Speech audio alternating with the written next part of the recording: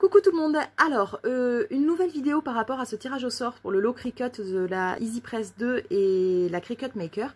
Tout simplement, Cricut m'avait demandé euh, les coordonnées du gagnant avant le 18 au soir.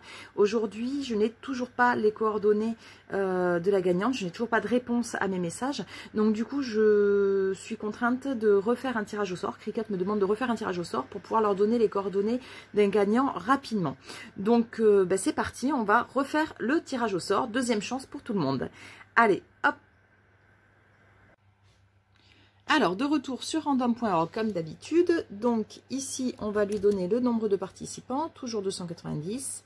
On génère un résultat et c'est le numéro 23 qui a gagné. Alors, le numéro 23, on va aller voir de suite de qui il s'agit. C'est tout, tout début. C'est Céline Declerc qui a gagné. Donc, Céline, Bravo à toi. Ce nouveau tirage au sort est fait, donc la nouvelle gagnante c'est Céline Declerc, oui c'est ça, et donc euh, bravo à elle, un grand merci à tous les participants et à votre fair play euh, euh, dans les réponses que vous avez pu apporter par rapport au tirage au sort. J'espère que la précédente gagnante ne m'en voudra pas trop. C'est très très délicat, je trouve, comme, euh, comme situation.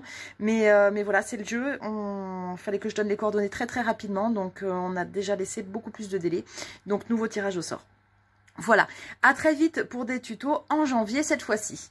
À ciao ciao